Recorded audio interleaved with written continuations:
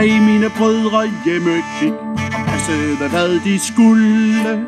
De andre tre i striden for og mødte dødens kulde. Rider i ud af fjeldeland med dragende svær beskjolde. Blæs i muren mul i vand på Rønsarvolde. Bud der kom til Rolands skov.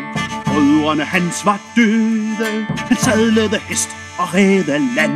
At lede drabsmænd byde Rider i ud af fjeldeland med dragende svær bag skjolde. Blæs i luren nul På rønser og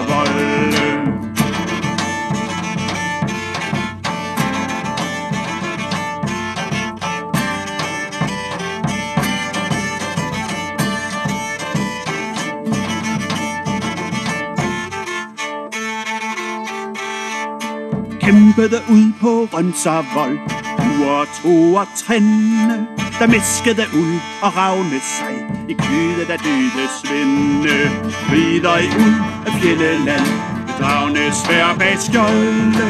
Blæs i luren olivand På Rønsavold Roland satte luren for blod i mund Blæste i den med vrede Der ravnede jord og klipper på. Stjernerne måtte græde Rider i ud af fjelleland.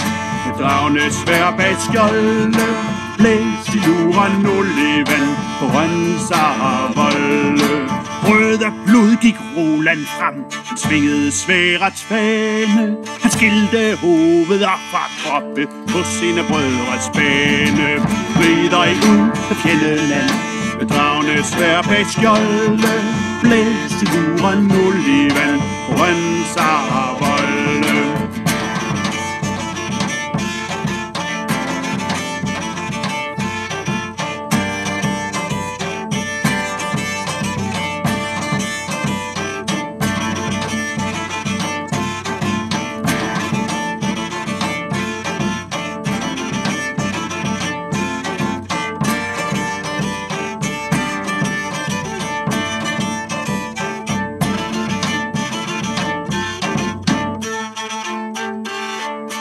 Så vandt Roland striden lang.